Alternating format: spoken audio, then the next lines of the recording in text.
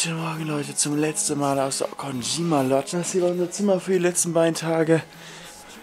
Hier ging es raus. Wir hatten teilweise Zebras bis genau hier vorne am Wasser bei uns. Da vorne geht auf jeden Fall irgendeine Party ab. Jetzt ist es 7 Uhr morgens. Gut geschlafen. Ja, ein bisschen kurz, aber gut. Ich habe auch nur drei Stunden geschlafen, weil ich noch geschnitten habe. Aber wir haben jetzt eine über vier Stunden Autofahrt vor uns. Und die werde ich versuchen zu nutzen, um noch ein bisschen Schlaf nachzuholen. Also erst baue ich mir jetzt hier mein Bett. Ja, drei Lagen. Kattis Jacke, mein Rucksack, meine Jacke. Ich glaube, so schlafe ich jetzt. Es geht los. Ich hoffe, die Straßen werden noch ein bisschen besser, aber eigentlich ist es egal, Leute. Ich schlafe jetzt. Wir sehen uns wieder. Okay, nicht aus dem Auto aussteigen für 16 Kilometer. Hier laufen Elefanten und Löwen rum. Alter, ich habe die ganze Fahrt über geschlafen, fünf Stunden lang. Immer so ein paar Sekunden zwischendurch aufgewacht, wenn es mal wieder ein bisschen runterging. Aber jetzt habe ich gleich ein bisschen Schlaf nachgeholt und jetzt sollten wir auch gleich da sein. Das hier ist die Hobarterre Lodge und Leute, ihr seht, es regnet einfach und das ist nicht normal, denn die Regenzeit hat eigentlich letzten Monat hier aufgehört und in den letzten drei Wochen hat sich ein Tropfen geregnet und jetzt auf einmal, okay, ich gehe da rein, ähm, regnet es hier richtig krass, nicht nur irgendwie so ein bisschen. Die Mitarbeiter sind zum Teil verwundert, aber freuen sich auch, weil es braucht halt Regen. Wie gesagt, die Regenzeit war bis letzten Monat noch, deswegen ist es relativ grün, aber jetzt beginnt eigentlich die Trockenzeit und alles trocknet ziemlich aus und deshalb freut man sich halt zum einen darüber, dass es überhaupt wieder regnet. Zum anderen ist es aber auch komisch, was das Wetter hier macht. Naja, für uns aber auch mal ein interessanter Anblick. Man erwartet halt irgendwie nicht hier so Regen im Moment. Jetzt bin ich ein bisschen nass. Da ist die Sonne wieder und wir machen uns auch direkt hier auf den Weg. Eine erste kleine Fahrt raus ins Löwengebiet. Keine Ahnung, ob wir welche sehen werden. Man muss schon Glück haben, um welche zu sehen, aber es gibt auch Elefanten und eben viele weitere Tiere. Und natürlich auch einen Zander, den wir jetzt hier unseren ersten Abend gemeinsam zelebrieren wollen.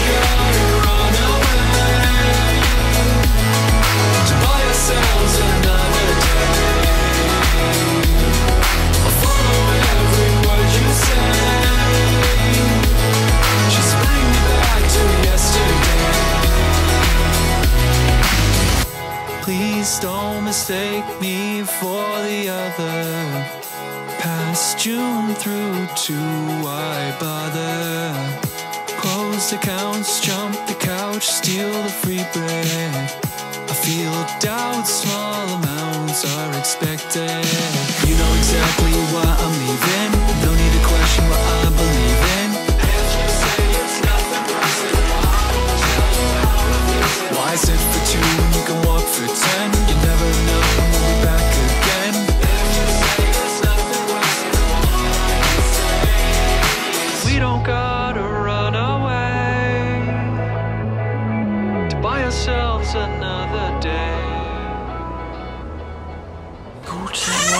Leute. Das hier ist unser kleines Häuschen. Oh, das ist immer noch. Zwei Nächte sind wir nämlich hier. Die Sonne geht bald auf und wir machen einen Early, Early Morning Drive. Es ist gerade 6.30 Uhr, um möglicherweise Löwen zu finden. Aber zuerst gibt es ein kleines Frühstück, denn wir könnten bis zu fünf Stunden unterwegs sein. Thank you so much. Los geht's, vor uns war richtig Nebel, die Sonne ist gerade aufgegangen. Wir hatten Pancakes zum Frühstück und gestern Abend war auch noch cool. Da sind wir eigentlich auch hier rausgefahren, hatten unseren Sundowner draußen und die Landschaft ist hier halt ziemlich anders, als sie es gestern noch war, also vorgestern. Wir, äh, wir haben jetzt heute Morgen um 5 Uhr einmal ein Signal gekriegt äh, von einem Löwen, der auf dem Berg ist. Dann um 7 Uhr haben wir nochmal. Ähm, was wir nicht haben, ist ein Signal von der Löwin mit ihren zwei Kleinen. Ähm, aber wir wissen ungefähr, wo das letzte Signal von gestern Abend war. Und da werden wir jetzt einmal hinfahren und dann werden wir mit einem Radio-Device gucken, wo sie ist. Also das Ding ist, bei Löwen, die sind wild. Ne? Die sind wirklich wild, wild, wild. Ja, es ist nicht so einfach, die zu finden, weil die wollen natürlich nicht mit Menschen chillen. Also wie ihr hören könnt, wir sind jetzt auf der Suche nach Löwen. Das kann ein paar Stunden dauern. Aber ja, gestern Abend war auf jeden Fall auch noch lustig, weil der ganze Staff hier, der führte jeden Abend ein, weil die Bock drauf haben. Kleine Gesangseinlage legen wir ein. Dies war am Ende auch noch mit dabei, ne? Äh, Ja, muss ich, das ist so, wenn die Musik anfängt, dann kann ich nicht still sitzen, dann muss ich einfach mitdancen. So. Ja, war cool. Heute Abend ne, sind wir alle Heute dran. wieder? Oh, oh, okay, okay, okay. Oh, jetzt suchen wir erstmal die Löwen. Wir haben ein totes Zebra gefunden, ganz hier hinten. Und wir glauben, dass das von einem Löwen gerissen wurde. legen sich dann eben an am Baum und dann essen die wieder weiter, ein bisschen später. Dann liegen sie wieder ein bisschen, dann essen sie wieder ein bisschen. Also es können, die können eigentlich nur da oben sein. Wir fahren jetzt einmal drum rum, mal gucken, ob wir sie da sehen. Und wir können sie sehen. Die Löwen haben gerade richtig schönes Festmahl gehabt vom Zebra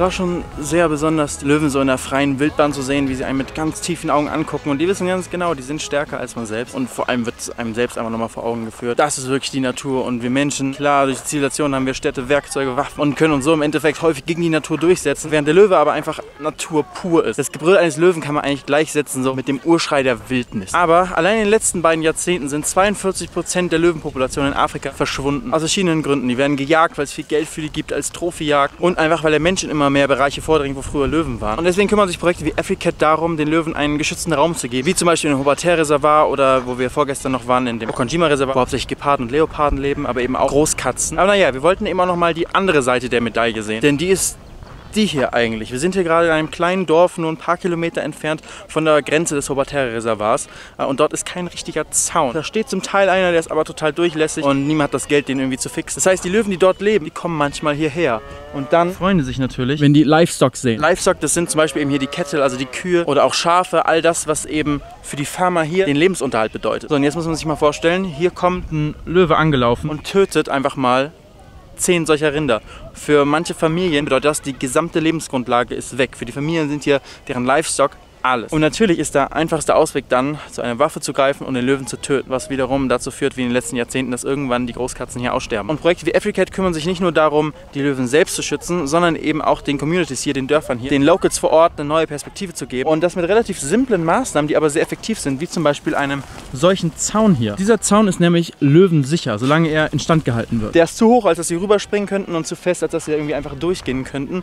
Und zusätzlich ist ja noch eine kleine, aber simple Erfindung eines Teenagers aus Afrika dran, nämlich dieses Licht hier. Und wenn ich hier meine Hand drüber halte, seht ihr, das Ding fängt an zu blinken. Das ist ein extrem günstiges, rudimentäres Licht, was ein Solarpanel oben hat. Das lädt sich also am Tag automatisch auf und nachts fängt es an zu blinken. Und den ganzen Zaun entlang sind solche Lichter angebracht und aus der Ferne sieht es einfach nach einem Feuer oder nach einer Stadt und Menschen im Allgemeinen aus. Auf jeden Fall etwas, was Löwen jetzt nicht so gut finden. Und das hilft eben zum einen erstmal den Großteil Löwen überhaupt wegzuhalten hier vom Dorf, vom Gehege. Und zum zweiten schützt natürlich das Gehege an sich dann vor Übergriffen. So versucht Africa der lokalen Bevölkerung eine neue Perspektive eben zu geben, indem sie solche gesicherten Cradles bauen, also Gehege. Und das hier ist eine Community, wo das ganz gut funktioniert. Hier stellen die meisten Farmer jetzt nachts ihr Vieh, ihr Livestock in diese Quells rein und dadurch gibt es hier kaum noch Probleme mit den Löwen. Das Ganze ist halt keine ganz einfache Sache, weil natürlich versteht man wenn der Farmer irgendwie keine Alternative hat und er die Basis seines Lebens, der, des Lebens seiner ganzen Familie irgendwie schützen will, dann kann man manchmal keinen anderen Weg sehen, als zum Beispiel so einen Löwen zu erschießen, der das ganze Dorf bedroht. Aber das bedeutet halt auch, dass nach und nach, wenn der Menschen immer mehr Räume vordringen, Löwen und andere Großkatzen komplett ausgelöscht werden. Deswegen ist das so der Spagat und deswegen werden auch diese Tiere eben so genau erforscht in diesen Reservaten, wie wir in den letzten Tagen gesehen haben, um eben im Endeffekt zumindest einen Teil des Wildlebens erhalten zu können und ein Leben des Menschen mit dem Wildleben in Einklang zu bringen.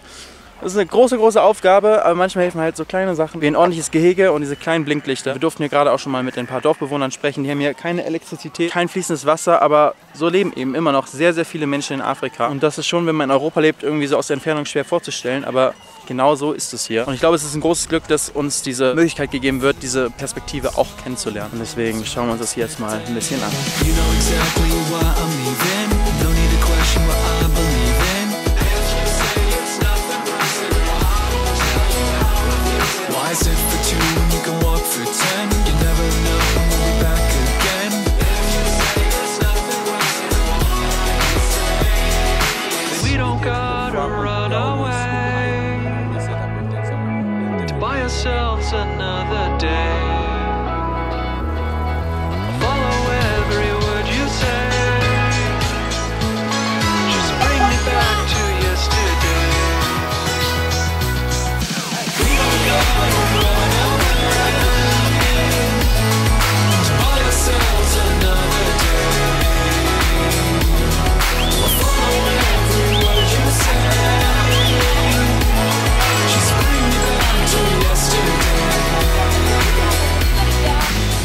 Sonne geht langsam unter und ich habe einen neuen Freund gefunden, mit dem wir gerade schon ein paar Fotos zusammen gemacht haben. yes. Und der zeigt mir jetzt hier eigentlich gerade mal den Cradle eben. Der hat hier auch verschiedene Bereiche. Und tagsüber, oh, jetzt film. Ja? Für mich?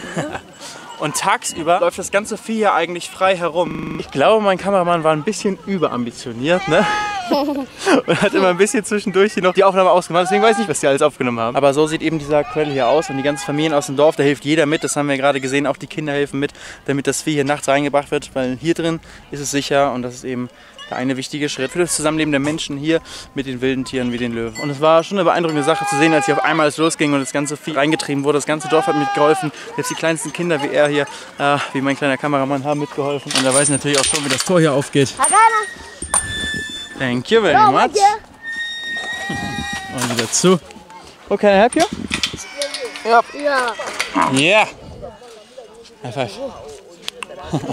Das Tor ist auch wieder zu. Und ein Punkt, den ich hier für mich besonders mitgenommen habe, ist eigentlich, dass die kleinen Dinge hier extrem viel bewirken können. Wie zum Beispiel eben solche Lichter hier. Die kosten unter einem Euro pro Stück, aber es gibt halt extrem viele dieser Cradles. Oder es wäre schön, wenn jedes Haus eigentlich seinen eigenen kleinen Cradle hätte und nicht mehr die Leute hier ihr ganzes Vieh hinbringen müssen, weil das vermischt sich natürlich auch. Und das Vieh, also der Livestock hier ist halt das ganze Vermögen einer Familie, worauf sie auch stolz sind und das möchten sie eigentlich ungern in solchen Gemeinschaftscradles haben, auch wenn das gemeinsame Communities sind. Aber man würde noch viel mehr Farmer dazu bringen, die wirklich so sicher einzusperren und somit keine Probleme mehr mit Löwen zu haben, ähm, wenn sie einen eigenen Cradle haben.